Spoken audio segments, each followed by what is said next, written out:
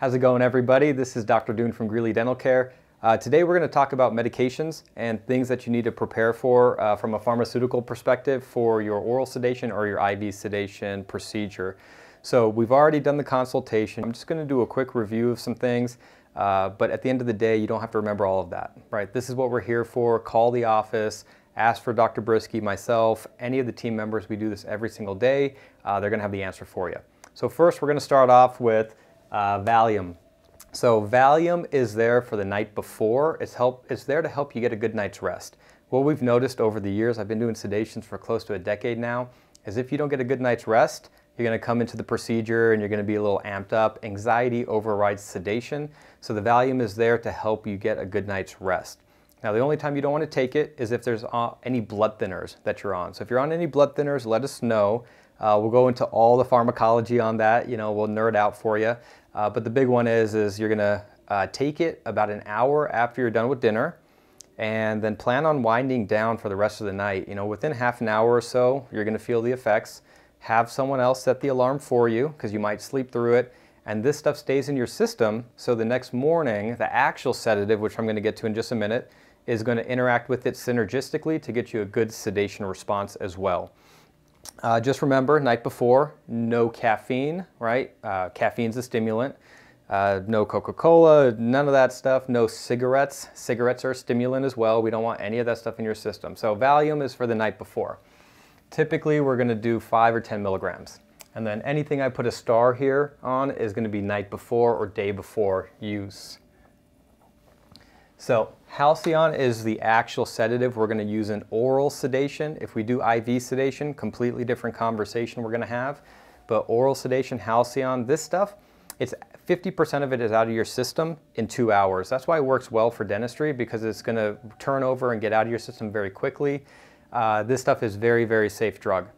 So the Halcion is in the same family as the Valium. You're going to take this either 90 minutes before, 60 minutes before, or we're going to give it to you in the office and Dr. Brisky or myself will make that determination.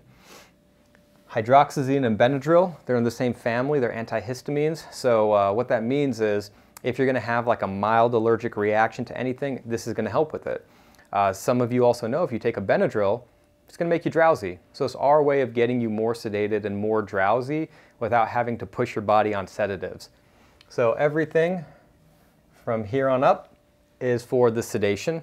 So the next medication here is Decadron. Decadron is a steroid. Uh, the steroid is going to help with any swelling. So we find that when we use the steroid, uh, that there's significantly less pain, significantly less swelling. People tend to like us better. So the only reason why you wouldn't take the steroid is if you're uh, on osteoporosis medications, if you have narrow angle glaucoma, or if you're at a risk of stomach ulcerations.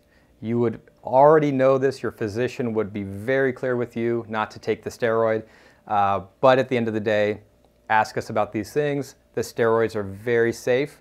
There's not a lot of negatives to this steroid regimen. It's not like you're on prednisone for three months or six months and you hear all the negative effects of steroid use.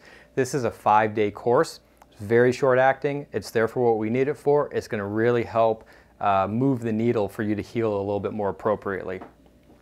Ibuprofen, it's a non-steroidal anti-inflammatory. So what that means is there's two pathways of pain. Tylenol and Norco and narcotics work on the central nervous system. Ibuprofen works on the peripheral nervous system. So there's actually two pathways. So by taking ibuprofen, A is an anti-inflammatory just like your Decadron is. Uh, B, it's for pain. So it's a really good one for, um, for dentistry. The only time you're not going to take ibuprofen is if there's a high risk of stomach ulcerations or if you have kidney issues. So you're going to talk to your physicians about that. Obviously, if you've had kidney transplants, all that, let us know. We'll talk about you know, when to use ibuprofen, when not to use ibuprofen. So Norco, hydrocodone, this is a narcotic. The DEA over the past couple of years with the epidemic has changed how we can prescribe narcotics. This is the only one you're going to need a handwritten prescription. It's the only one you're going to still have to go to the pharmacy and hand them the script.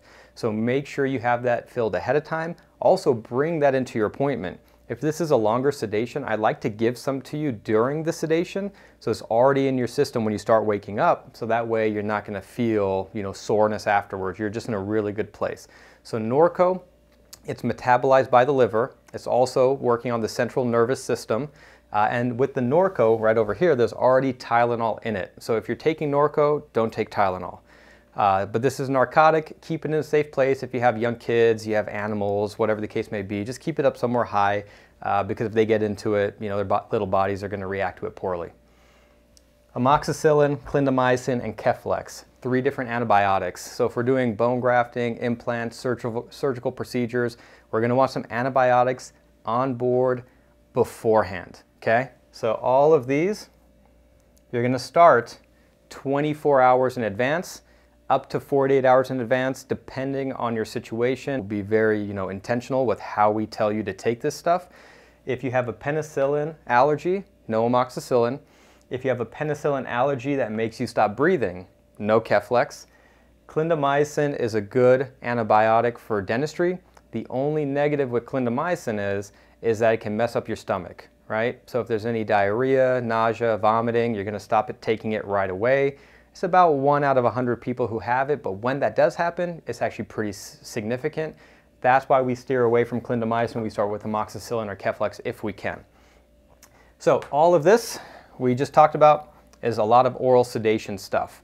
There's also something called Peridex, that's a mouth rinse, it's a chlorhexidine mouth rinse. Small other prescriptions that we might give you. These are the main ones we're going to be talking about. These are the main ones we get questions on. Uh, but depending on your specific situation, uh, we're going to cater a different type of cocktail, a different type of medication uh, protocol for you. Now, IV sedation. IV sedation means we put in an IV, we're directly giving you the medication, you're definitely 100% asleep, the anesthesiologist is coming into the practice and he's monitoring your sedation. If you're healthy, we're just going to do our quick check with you. We're going to schedule the anesthesiologist. You guys are going to meet the day of the procedure, so don't worry if they don't call you. Now, if you have some complexities to, to your medical history, if there's anything we need to be concerned with, we're going to contact your physicians. We're going to contact any specialists that you're, uh, you're, you're working with. The anesthesiologist is going to make the decision whether or not they want to talk to them or if they want to talk to you directly. So if they have to speak to you on that matter, we'll let you know, or they'll call you, or one of their team members will call you. But typically what happens with the IV sedation is you show up to the practice, we do this every single day, they're already going to be there, uh, they'll get you hooked up on the IVs. You're going to go to sleep. It's going to feel like five seconds. We'll wake you up. All the work will be done. And uh, through the IV, we're actually going to give you some of these medications here. Uh, but also, we're going to prescribe some of these medications here to you that you'll start taking at home. So a lot of the stuff I reviewed here for home use, you're still going to use at home after an IV sedation, but we're going to cater that protocol appropriately as well. So a lot we covered over here. The best thing to do if you have a question is call us or text us. So that way, before you ever take a medication, have your questions answered. So give us a call if you need anything, and uh, we're always here to get you to where you need to be.